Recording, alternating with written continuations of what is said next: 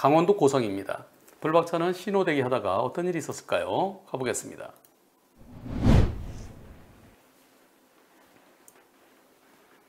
어, 이 뭐야? 누가 들이받았어?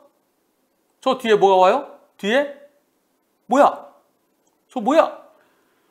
탱크네! 탱크가! 아이쿠, 탱크가 들이받았습니다. 에헤이, 참나, 탱크. 하하. 아, 빨간불에 제가 멈추고 있었어요. 근데 탱크가 제 차를 치고 나갔습니다. 보험으로 처리하긴 했지만 저는 목숨을 잃을 뻔했어요. 해당 부대에서 담당자가 저녁 때 죄송하다고 사과 한번 한 번 사과는 했는데요. 그 이후로 아무런 연락도 없어요. 어허이 참나.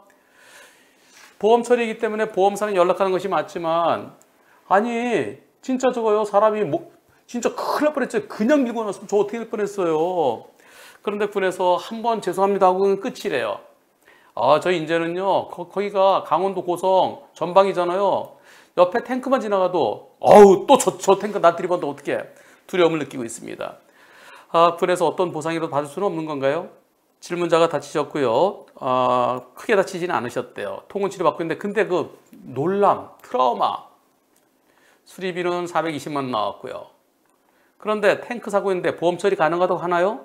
누구의 보험인가요? 혹시 불박자 자차 보험인가요?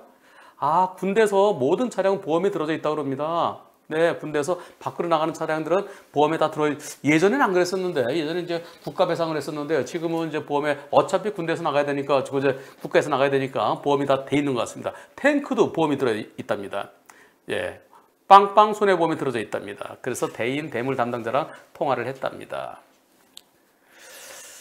물론 보험에 들어 있으면 대인 대물 모두 다 이제 보험사사 보험사에서 해주죠. 그런데 그 보험사에서 해주는 거 말고 별도로 군에서 국가로부터 또 다른 손해배상을 받을 수는 없습니다. 종합보험이면은 예, 보험사에서 다 해주죠.